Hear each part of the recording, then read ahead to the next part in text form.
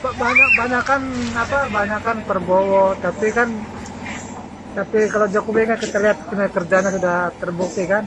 Walaupun gimana ya coba kita beri dia kesempatan lima tahun lagi tuh namanya ekonomi ya siapa saja presidennya ada tetap jadi gitu-gituan aja tuh kalau orang bilang apa uh, kalau menurut orang bilang kan pendukung-pendukungnya eh, Prabowo bilang oh uangnya lari ke, ke luar negeri oh kalau kayak gitu mau gimana ya kan seharusnya kayak gitu loh kalau Jokowi nggak pak? Hah? kalau Jokowi nggak?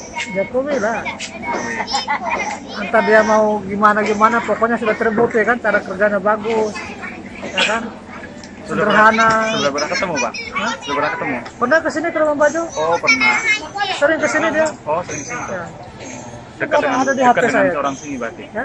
dekat dengan orang sini? Nggak terlalu sih cuma di sini kan mayoritasnya kan PDIP kan? Partai yang didukung Jokowi kan partai PDIP di sini tiap tahun PDIP itu PDIP yang menang terus. Mayoritas kan apa uh, Kristen di sini. Luar sini kan mayoritasnya Kristen. ya. jadi kalau Prabowo banyak juga sih.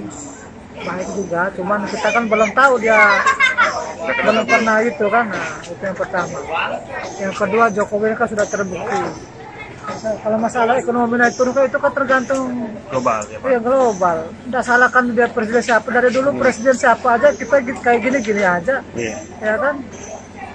Mau presiden apakah nanti presiden Joko, uh, Prabowo nanti atau kita makan dikasih sama dia? Ya nelayan nelayan gitu aja. Tetap, ya, Tetap aja. Oke Pak. Cuma beri dia kesempatan dulu kan. Ya mungkin besok mungkin mungkin tahun lima tahun depan mungkin Jokowi calon tunggal nggak ada lagi saingannya kan? Kan sudah dua, dua sepuluh tahun dia kumpul-kumpul terus luar masanya kan? Nah, siapa lagi mau lawan? Nah, sudah bukan mungkin dia calon tunggal. Kan begitu oke. Ya kan? yang Pak Saiful ya? Ini nelayan Pak. Nelayan. Nelayan. Terima kasih Pak. Ya.